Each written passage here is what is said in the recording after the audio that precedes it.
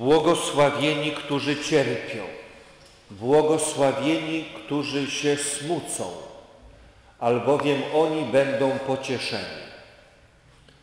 Kochani bracia i siostry, którzy nosicie w sobie ból cierpienia, ból choroby, ból osamotnienia, ból czasami bardzo cierpliwego przeżywania trudnych chwil swego życia, zwłaszcza teraz, kiedy lat coraz więcej Wam przybywa. A wiadomo, że im więcej lat, tym więcej cierpienia, więcej bólu, więcej samotności, czasami więcej niezrozumienia. Ale kochani, przybywacie tutaj do świątyni, żeby zaczerpnąć i usłyszeć słowo pociechy. Codziennie, drodzy, na misjach świętych otwieramy Księgę Pisma Świętego, duża księga Biblii. Z niej, drodzy, czerpiemy siłę i pociechę, bo to są słowa naszego najlepszego Ojca. On daje nam słowo nadziei. On daje nam słowo pociechy. On wlewa w nasze serce ufność, że owszem, cierpienie i choroba są czymś trudnym w życiu człowieka, niezrozumiałym. Można powiedzieć, są pewną tajemnicą. Ale co jest, drodzy, najważniejsze? Że przez takie cierpienie, przez różnego rodzaju zwątpienie, przez opuszczenie przeszedł także nasz Zbawiciel, Jezus Chrystus, który, jak wiecie, cierpiał niemało, bo cierpiał za nas na krzyżu. Kiedyś miałem okazję poznać starszego, dużo starszego ode mnie, pana Henryka. Pan Henryk był bardzo dobrym stolarzem solidnym, uczciwym, rzetelnym pracownikiem, który robił bardzo dobre meble. Prowadził swój zakład stolarski, bardzo wielu ludzi zamawiało u niego różnego rodzaju meble, bo wiedzieli, że pan Henryk podchodzi do sprawy nie tylko uczciwie, ale potrafi zrobić naprawdę solidne, ładne, meble, które mogą stać długo w naszych mieszkaniach. Nie miał pięćdziesięciu wtedy lat, kiedy dotknęła go choroba, taki częściowy paraliż. Ni stąd, ni zowąd. Znalazł się w szpitalu. Leżał, nic nie mógł zrobić. Podawano mu jedzenie, Pielęgniarki go myły, karmiły. To wszystko to, co jest przy człowieku, który leży praktycznie obłożnie chory. Kiedy spotkałem się z jego żoną, była załamana, bo była wcześniej w szpitalu i widziała, jak bardzo niedobrze tę chorobę przeżywa jej mąż. Poprosiła mnie, żebym poszedł do niego, do szpitala, jakoś go pocieszył, dał takie dobre słowo, bo mówi, no, no widać, że bardzo cierpi. Kiedy przyszedłem do niego do szpitala, od razu zadał mi pytanie. Proszę ojca, dlaczego ja tak mówi leżę teraz? Dlaczego mówi to cierpienie mnie dotknęło? Przecież mógłbym tyle dobra zrobić. Mówi, ojciec wie, że byłem solidnym, uczciwym stolarzem.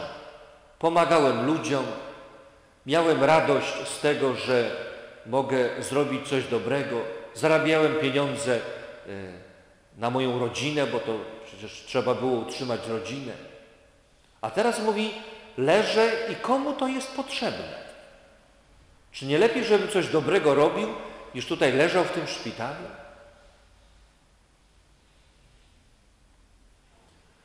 Pamiętam, że nie za bardzo znalazłem wtedy w sobie jakieś takie słowa pociechy. Za bardzo nie wiedziałem, jak mu pomóc. Bałem się, żeby to nie były takie no, słowa powierzchowne, takie, takie troszkę no, no, dające taką fałszywą pociechę. Nie chciałem mu mówić, że będzie wszystko dobrze, bo lekarze mówili, że nie wiadomo, jak to się skończy. Nie chciałem mu mówić, że na pewno wyzdrowieje, bo lekarze nie dawali takiej pewności. Wtedy takie miałem światło, przyszła mi na myśl e, fragment rozważania jednego z papieży, który na Wielki Post postawił takie pytanie. Kiedy Jezus zrobił coś więcej dla człowieka? Czy przez trzy lata, kiedy był zdrowy, głosił Ewangelię, uzdrawiał, pomagał, chodził po Judei, Galilei, odwiedzał kogo mógł przez trzy lata, czy przez trzy godziny, kiedy wisiał na krzyżu i nie mógł ruszyć ani ręką, ani nogą, nie mógł na krzyżu nikogo uzdrowić,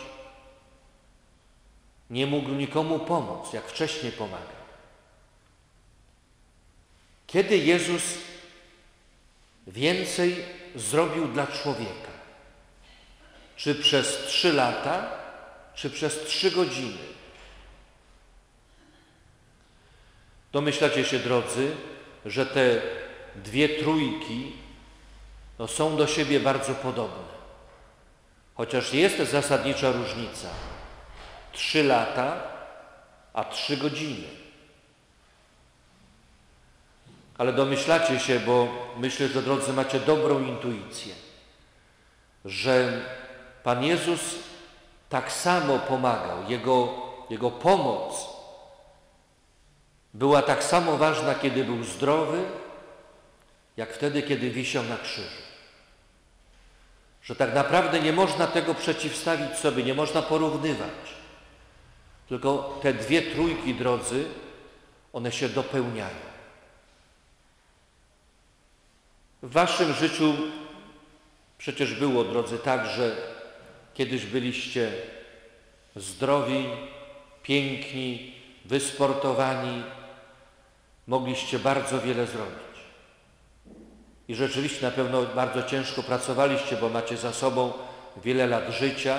Większość z Was jeszcze przeżyła czasy komunizmu, kiedy było bardzo ciężko pod każdym względem, nie tylko pod względem odwagi w wyznawaniu wiary, ale wy wszyscy przecież dokładnie pamiętacie kolejki, stan wojenny, prześladowania, jak czasami wyrzucano z pracy za to, że ktoś ochrzcił dziecko. Nie było łatwo wtedy. I wasze życie to jest przecież dziesiątki lat pokonywania różnych trudności, ale jako osoby zdrowe.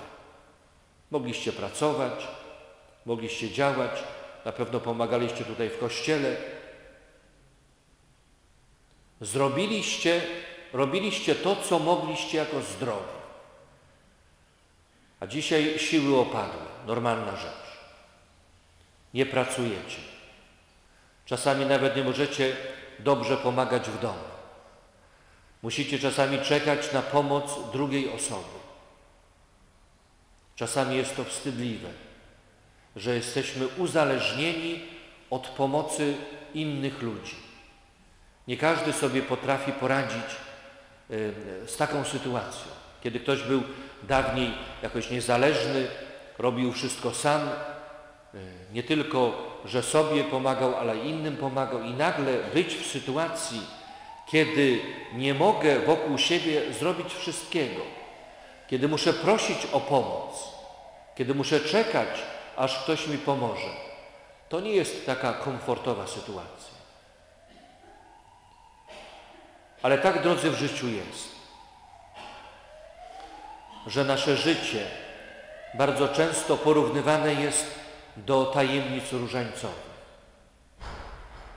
że przeżywamy chwilę radości naszego życia,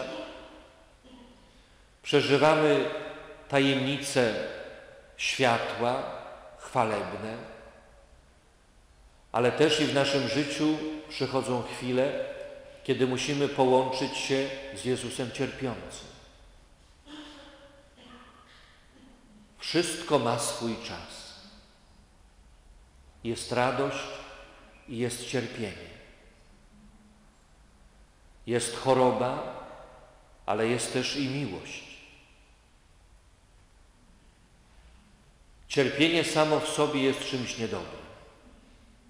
Ale wiecie dobrze, że Jezus nie cierpiał bez powodu.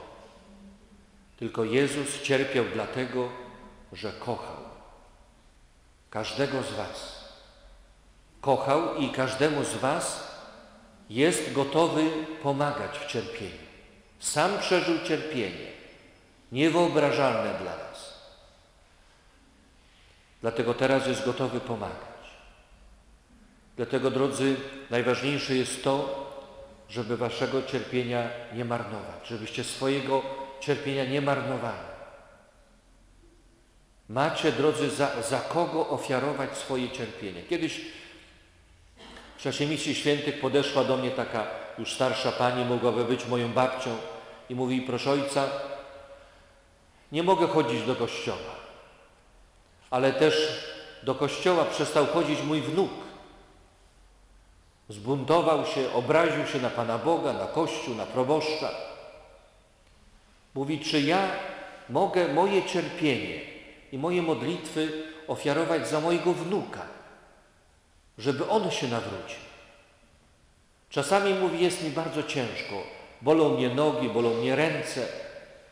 Czasami najgorsza dla mnie jest samotność. Czy ja mogę moją samotność i cierpienia ofiarować za mojego wnuka?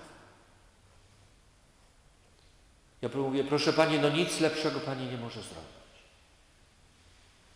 Kiedyś byłem na rekolekcjach, gdzie y, ksiądz proboszcz y, organizował co miesiąc takie spotkania dla chorych z parafii. Niektórzy przychodzili sami, niektórych przywożono, niektórych przy, przewożono, przy, przyprowadzano. I potem zawsze po mszy świętej proboszcz zapraszał ich do sali parafialnej, tam oni, takie było spotkanie przy kawie, przy ciastach, przy herbacie. I proboszcz zawsze na końcu tego spotkania mówił tym chorym, co w parafii będzie się działo. Mówił, jaki będzie remont, że będą tam coś remontować w prezbiterium, potem mówił, że będą coś tam malować, jakieś salki, potem jeszcze mówił, że będzie jakieś inne wydarzenia i opowiadał im, co się będzie działo w, w najbliższym czasie. Ja go zapytałem, proszę księdza, po co ksiądz opowiada tym chorym, co się będzie działo, kiedy oni nic nie mogą pomóc? On mówi, mogą pomóc. Oni mogą pomóc i bardzo pomagają. Ja mówię, w jaki sposób?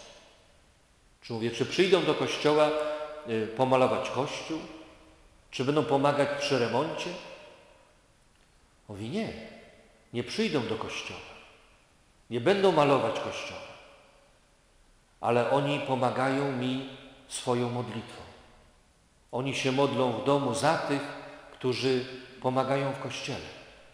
Oni ofiarują swoje cierpienie za tych, którzy w sposób taki fizyczny